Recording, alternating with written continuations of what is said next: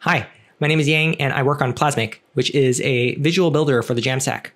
I'm here to talk about performance and the frontiers of shipping less JavaScript, but a little bit of background first. So Plasmic is a visual builder that you can plug into your own codebase. You plug it in like a headless CMS, but it has a rich no-code page builder where you can customize it with uh, your existing components and then drag and drop them in the editor. And that way you can enable non-developers in marketing or design to create fully custom landing pages or any other rich content or experience in your app uh, while eliminating a bunch of code and dependency on developers and uh, just empower your whole team to move super fast. Uh, now, the teams that use Plasmic uh, these can range um, everywhere from performance sensitive e-commerce stores to Fortune 500 marketing sites like Intuit. So performance at scale is something we care a lot about. Uh, in this talk, I want to share some of our own learnings uh, in the space. And um, it starts with you know understanding the importance of performance. Performance directly impacts bottom line. Uh, there's a bunch of studies by companies where they uh, experimentally measure the causal impact of uh, latency on metrics like traffic and revenue. And now it's gotten even more important with the new impact on search rankings. Uh, Google has rolled out the page experience update to its algorithm where uh, basically they're now factoring in these three perceived speed metrics, which are together called Core Web Vitals. And uh, we'll dig into this in a little bit. Um, so, good thing we're running on the Jamstack and generating static sites and serving these from the edge and all that. Uh, how are we doing on performance? You can use Google Lighthouse to measure and report a single performance number that rolls up all the Web Vitals metrics. Um, now, one common issue I see folks doing, uh, if you measure desktop performance from your MacBook, you'll probably see some pretty solid performance scores. But if you look at what Google sees, it might be pretty different. Um, you can do that from the links here. It's a more controlled environment and measuring mobile performance and whatnot. Uh, but these are the performance scores for the sites of a bunch of leading Jamstack frameworks and vendors. I don't want to performance shame anyone. Uh, our own website was very much smack dab in the middle of this. Uh, you have many peers if you're in the yellow or red. Um, it can look like a harsh grader. Uh, many sites that supposedly are about good performance to get low scores, and they are, for the most part, employing all the best practices around images and preloading, etc. So, uh, what's going on? What do these all have in common? If we come back to what those metrics are that go into the performance score, it breaks down to largest contentful paint, which is how quickly the biggest thing on the screen shows up, like your hero image. Uh, first input delay, which is how quickly you can finish responding to the first user interaction. And uh, cumulative layout shift, whether things are jumping around on the screen as loading is happening. Uh, all these things contribute to the perceived loading time. And uh, like I said, the sites are, for the most part, employing best practices already around images and fixing their dimensions and uh, all that. But the main remaining hurdle is uh, really around that first input delay. The main culprit here is JavaScript that's blocking the main thread. The problem is that modern frameworks like Gatsby and Next and Nuxt and Angular and SvelteKit and all these modern declarative frameworks um, sure they're emitting static HTML, which gets things to show up quickly, but they still need JavaScript for interactivity. And the way things work is uh, you have to fetch all the code and data uh, needed to render the whole page, uh, including all the JSX, but um, also all the content and data that you already have uh, rendered on the server and downloaded as HTML. Uh, you have to fetch and reevaluate and hydrate that into your document on the client. And it's this all or nothing affair where um, even if the only bit of JavaScript that you need is to toggle your sidebar nav, uh, you end up pulling down the bundles to render the full page. If you try just removing the JavaScript bundles from these sites, um, and it's easy to try this out using overrides in Chrome DevTools, um, that'll significantly improve these scores. And I thought this was an interesting graph you can pull up from the HTTP archive.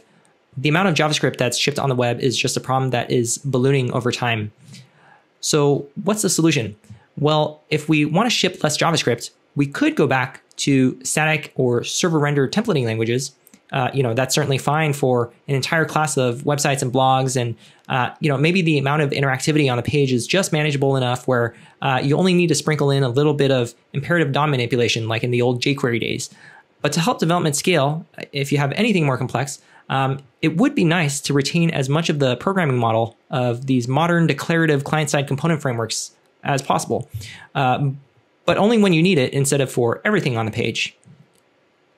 So there's a bunch of recent work on new and old frameworks that fit this bill. They all render to HTML and let you write declarative stateful components for client-side interactivity, but you only pay the cost where needed.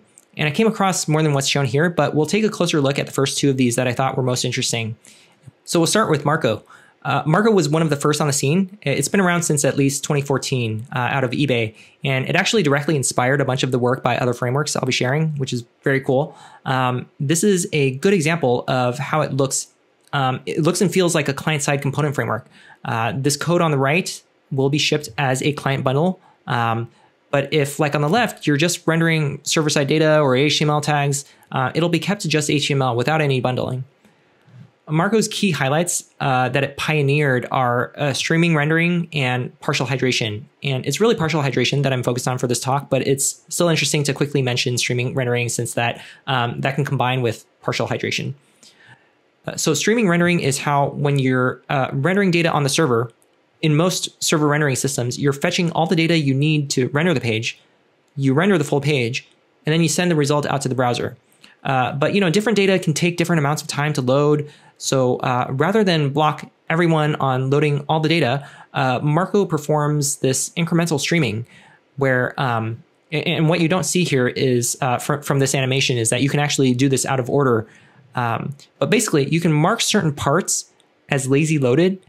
Uh, a placeholder is rendered instead, and the server continues to stream the rest of the page. And then afterward, at the end of the document, this loaded section will um, be fetched in, you know, right after the closing HTML tag, uh, along with a tiny snippet of JavaScript that then pops it into the correct place, overwriting the placeholder. So that really helps with uh, everything from first contentful paint metrics to um, uh, getting you the head really fast so you know what other resources to download, etc. Um, but the other highlight is uh, really partial hydration. Um, and if all you need to hydrate are these buttons, then that's all you'll download. And this is enabled by um, its uh, compiler, just knowing you know what components have state and what don't. People describe this as uh, having islands of your app that need hydration. And so the hope is that these islands are really small parts of the page and not the entire page, uh, which is you know just going to reduce to um, how SSR and SSG work today. Uh, so I was thinking, how well does this metaphor actually hold up? One of the examples for Marko is a Hacker News clone, complete with a collapsible comments page. I thought this was a great little example of interactivity, not necessarily being relegated to a leaf node of the tree or um, you know a specific part of the tree, but actually just scattered throughout the entire page and even wrapping the content. Um, this is something where if we were just attaching this behavior uh, with vanilla JavaScript, it would be fairly straightforward, and uh, you know you don't need to fetch or hydrate anything. Um, the left shows the code for this recursive comment component um, in in Marko that takes the tree of comments as this big JSON data structure and then spits out uh, the markup, including a bit of client side state to toggle the CSS display property. So you know, kind of what you would expect from these um, if you were just writing it in a in a component framework. That JSON describing all the comments, that's pretty big. It's basically the contents of the entire page. So we want to avoid fetching that and hydrating that uh, if possible. And it would be pretty amazing if you write this code in this natural way and, um, you know, Marko could just do things optimally for you. Unfortunately, that's not the outcome in this demo app. The moment you introduce state into the component, the entire thing requires hydration. So this component actually doesn't avoid the bundle. However, the above is something the team told me they're working on. The next version of Marko will have subcomponent hydration uh, enabled by smarter compiler data flow analysis, which means that this will just work in the optimal way, which is very exciting. So next up is Astro. Astro is very much a server-side templating language, just a front matter script to fetch data plus some JSX to render. Astro itself doesn't have any way of expressing client state. What you can do, and this is the real highlight, is that you can directly include components from React, Vue, etc. in your template, like we're showing here. The way this works, uh, by default, everything you render is pure HTML. There's nothing being hydrated on the client. So uh, even if you include like a interactive, uh, stateful, effectful React component, it's not nothing's going to happen on the client. Um, it's going to be lifeless there. Uh, but you can opt in to client side interactivity. And you can furthermore specify when exactly that happens. You know, as soon as the page loads or lazily when the main thread is free or only when it comes into view. Um, it makes common use cases super easy. And, you know, Astro really aims to help users fall into the pit of success when it comes to performance. But so now you have all these independent islands of React trees.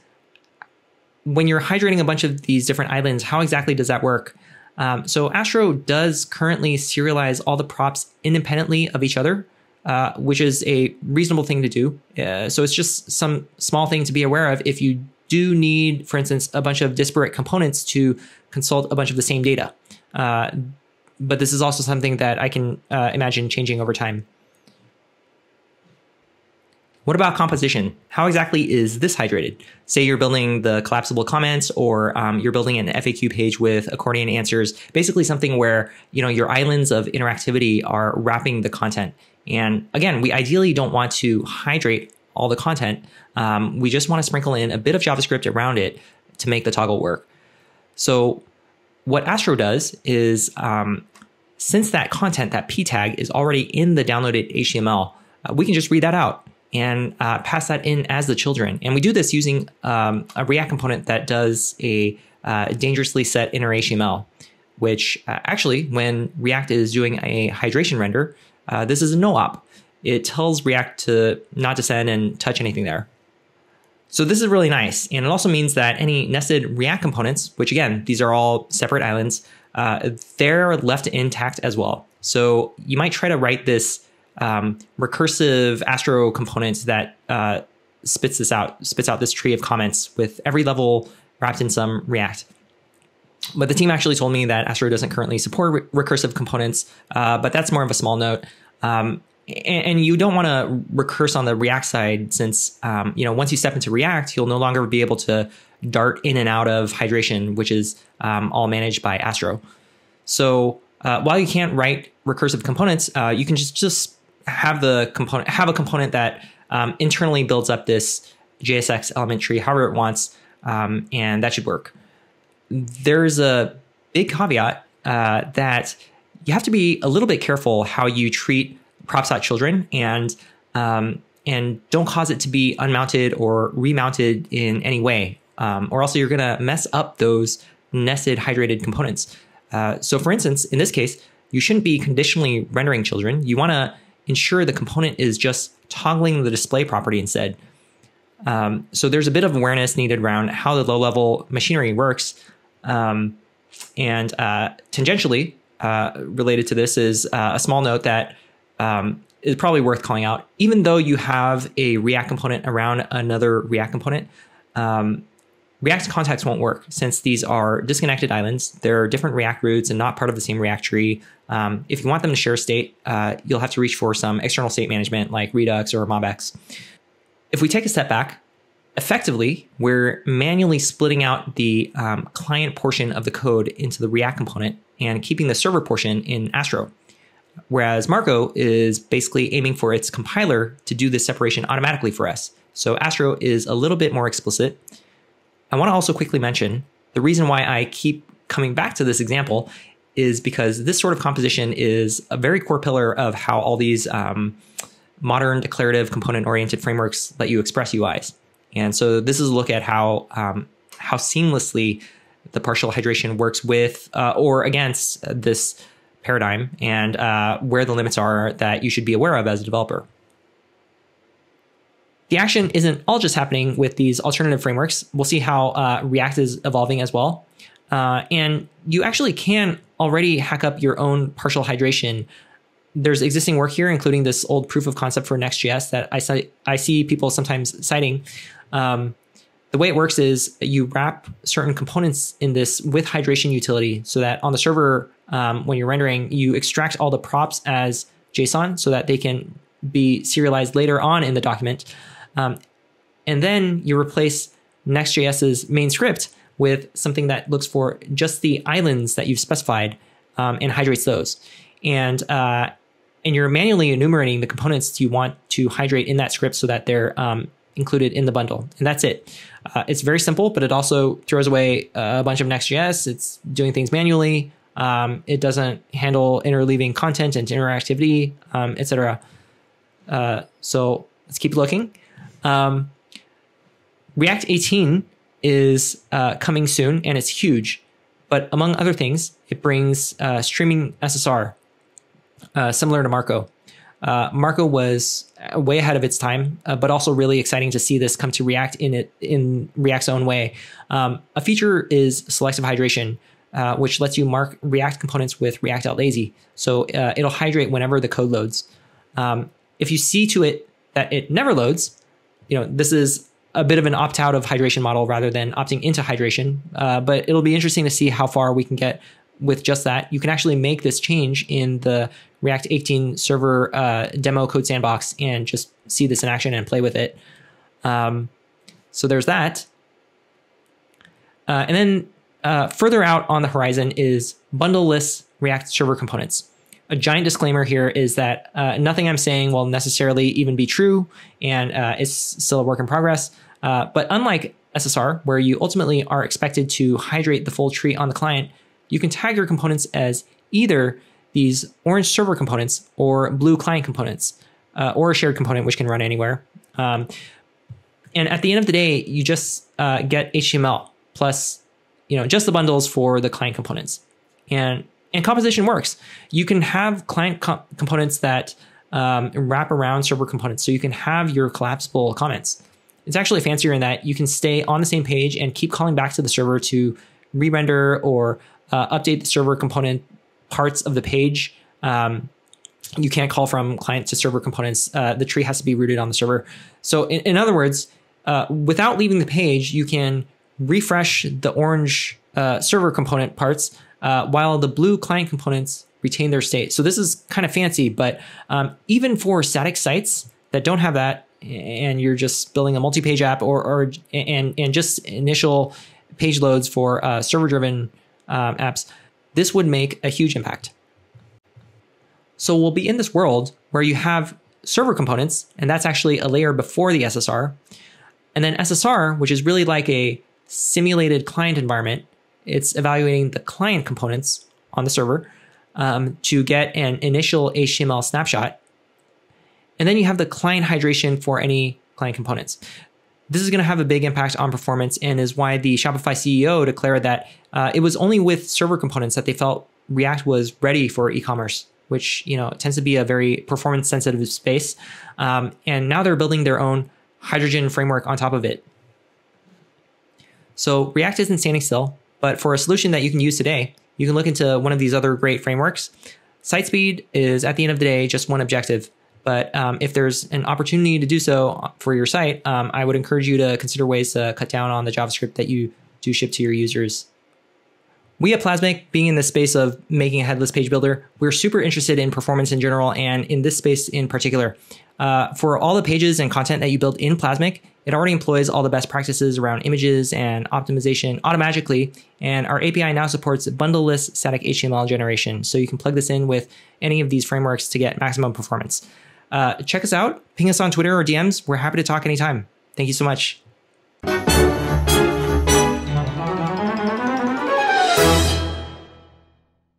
Sit, Jamstack, sit. Woof, woof. Good boy.